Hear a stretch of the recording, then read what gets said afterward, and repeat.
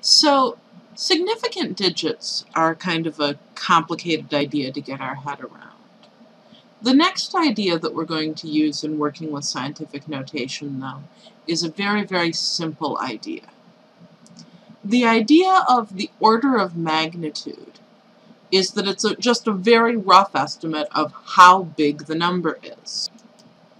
So what do we mean by that exactly? The order of magnitude tells us what place the most significant digit is in.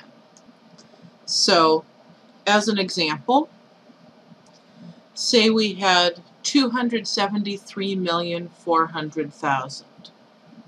The most significant digit is this 2. What place is it in? Well, it's in the hundred millions place. Or we could count out 10 to the 0,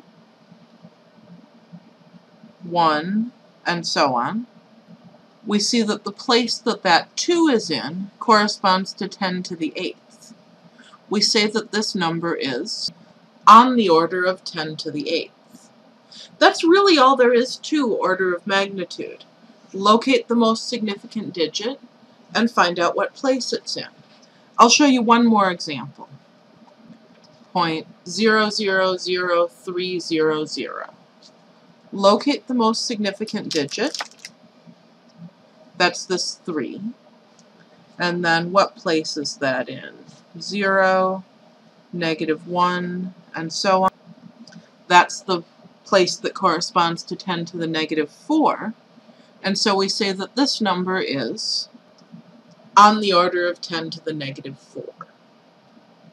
That's all there is to order of magnitude.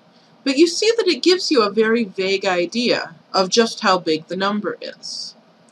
Something on the order of 10 to the 8th is going to be in the hundreds of millions. Something on the order of 10 to the negative 4th is going to be some number of ten thousandths.